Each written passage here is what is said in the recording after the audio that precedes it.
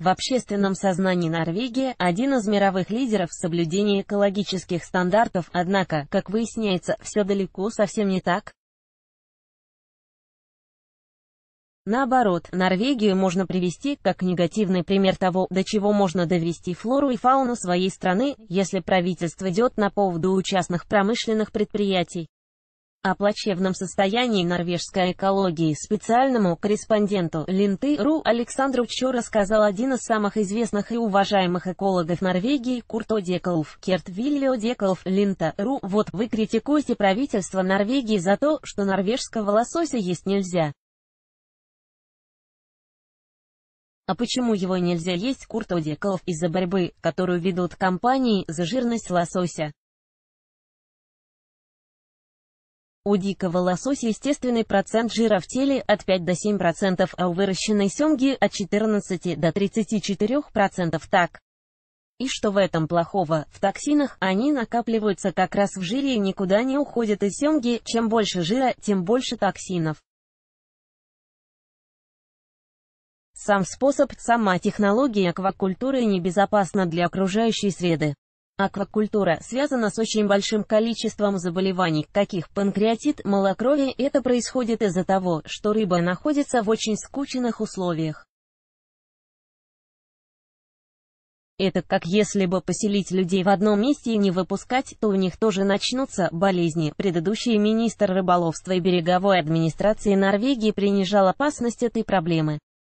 Он говорил, что эта семга безопасна для потребления и что ее можно есть не только в Норвегии, но и экспортировать в другие страны. Проблема также связана с тем, что в рыбий корм добавляют антиоксидант. В результате этот корм становится даже пожароопасным, он может воспламеняться, и все это накапливается в организме человека и приводит к другим нежелательным последствиям для организма. Поэтому вся эта отрасль аквакультура – один сплошной кошмар. В 2010 году правительство Норвегии заявило, что аквакультура в Норвегии вышла из-под контроля, какие-то норвежские партии поддерживают вас. В 2010 году я подготовил доклад и сейчас готовлю его новое издание, которое выйдет в этом году. В нем мы как раз и подчеркиваем все эти проблемы. Могу сказать, что у нас есть поддержка со стороны членов тех норвежских партий, которые живут непосредственно в местностях, где процветает аквакультура.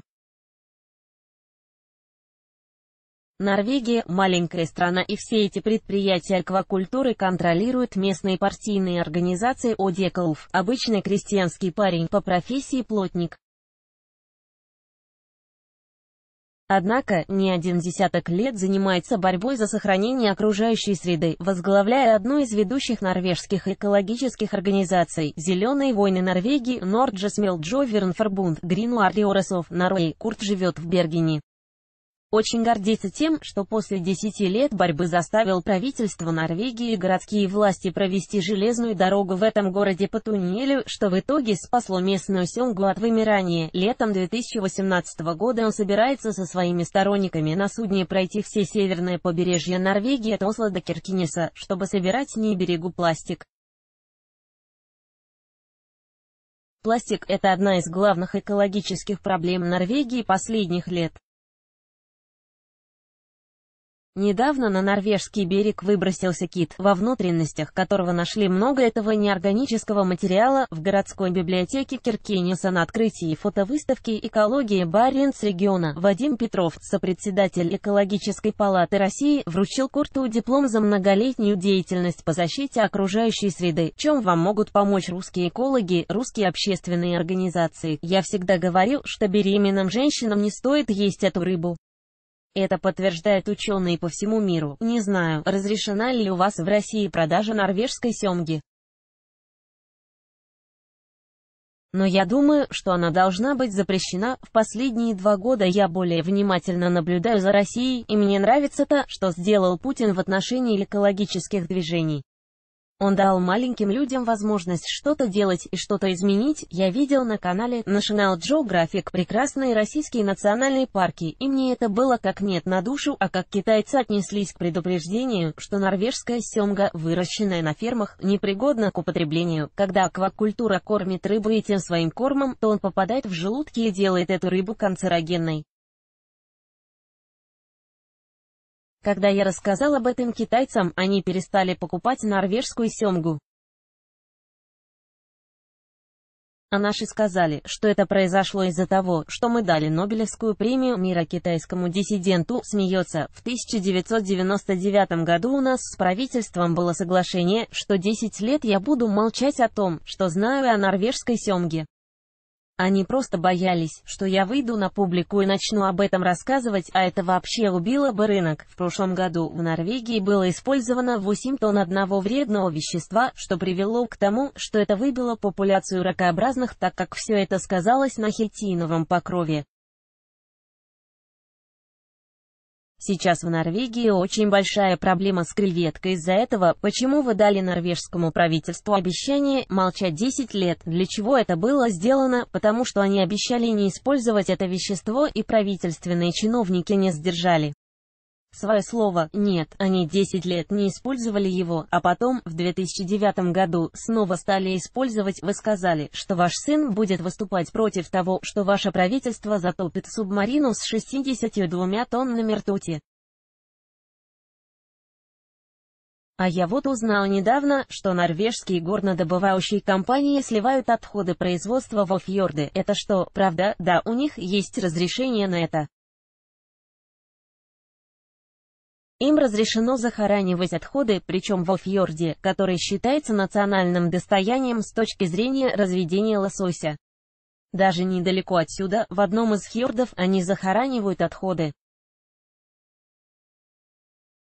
Здесь идет добыча железной руды, у компании есть разрешение захоранивать отходы производства, при добыче железной руды содержание самого железа составляет только 4%, а все остальное идет в отходы.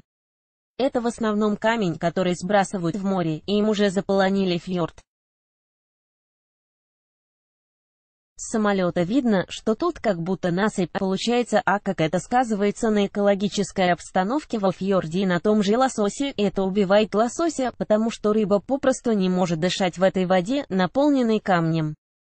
Если вы спуститесь в шахту, то сами можете почувствовать этот воздух, который вызывает легочные заболевания.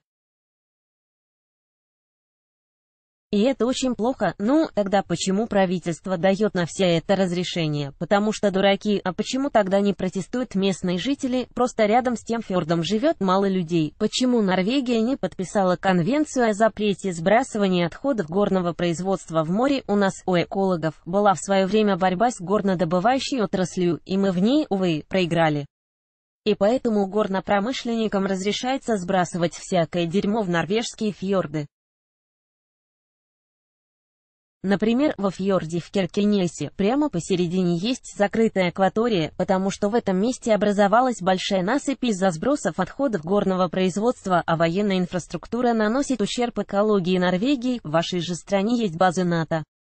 Несут ли они какую-нибудь опасность флоре и фауне? Смеется, понимаете, генеральный секретарь НАТО Йенс Сталтенберг, когда служил в норвежской армии, служил в моем подразделении, я был его сержантом.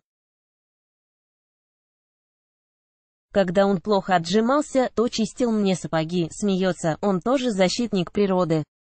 Когда исполнилось 30 лет моей экологической деятельности, он мне написал письмо, мол, Курт, продолжай в том же духе, скажите, а за вашу бескомпромиссную деятельность вас не пытались привлечь к суду, пытались. Потому что я мешаю работе тех, кто наносит ущерб природе.